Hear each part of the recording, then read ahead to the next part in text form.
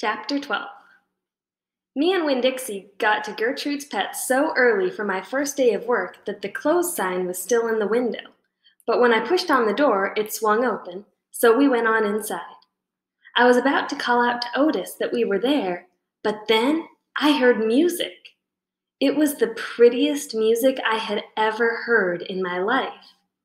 I looked around to see where it was coming from, and that's when I noticed that all the animals were out of their cages.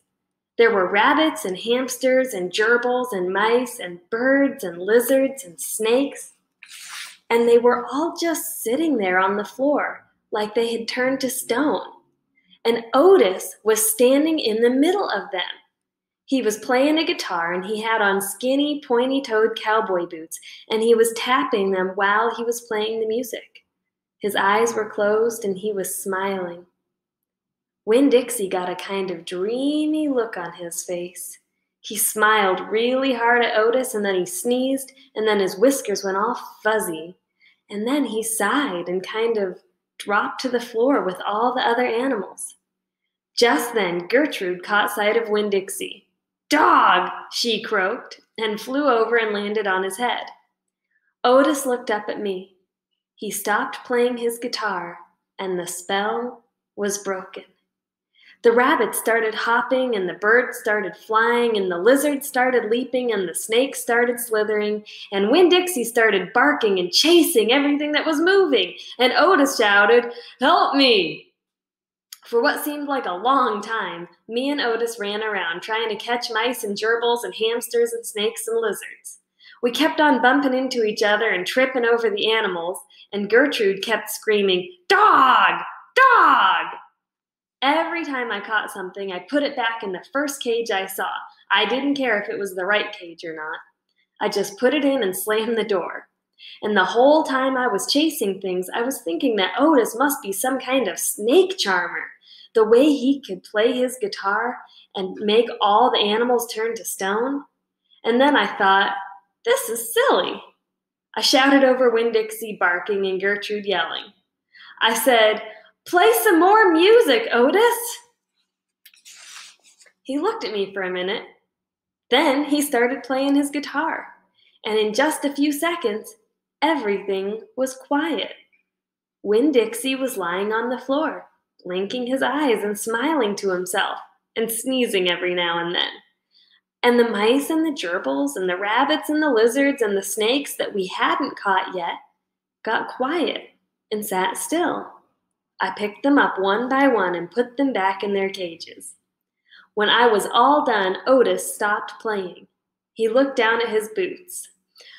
I was just playing them some music. It makes them happy. Yes, sir, I said. Did they escape from their cages?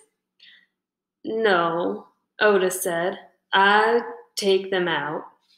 I feel sorry for them being locked up all the time. I know what it's like being locked up. You do? I said. I have been in jail, Otis said. He looked up at me real quick and then looked back down at his boots. You have? I said. Never mind, said Otis. Aren't you here to sweep the floor? Yes, sir, I told him. He walked over to the counter and started digging through a pile of things, and finally he came up with a broom. Here, he said, you should start sweeping. Only he must have gotten confused. He was holding out his guitar to me instead of the broom. With your guitar? I asked. He blushed and handed me the broom, and I started to work. I am a good sweeper. I swept the whole store and then dusted off some of the shelves.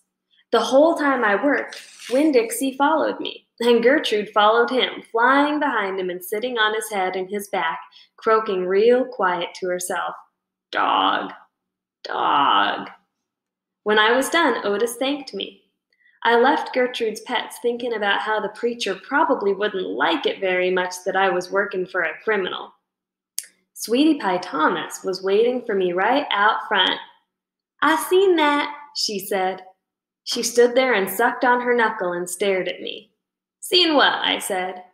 I seen all them animals out of their cages and keeping real still. Is that man magic? She asked. Kind of, I told her. She hugged Winn Dixie around the neck. Just like this grocery store dog, right? Right, I said. I started walking, and Sweetie Pie took her knuckle out of her mouth and put her hand in mine. Are you coming to my birthday party? she asked. I surely am, I told her. The theme is pink, she said. I know it, I told her. I gotta go, she said all of a sudden.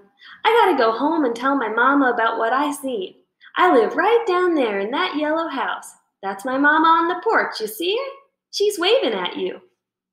I waved at the woman on the porch, and she waved back, and I watched Sweetie Pie run off to tell her mama about Otis being a magic man.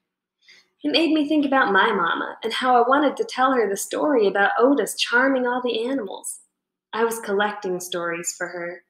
I would also tell her about Miss Franny and the bear, and about meeting Gloria Dump and believing for just a minute that she was a witch.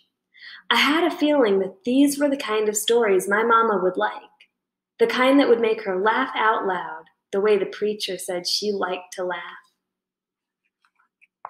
So, in this chapter, we got to learn a little bit more about Otis, and I think that you could probably make some inferences about his character. Remember, an inference is a guess based on text evidence. So, knowing what you know about how he treats the animals and knowing a little bit of his history that he's been in jail, what can you infer about what kind of person Otis is based on these details? How would you describe him to somebody else? If you're watching on Flipgrid, you can post a video response with what you're thinking.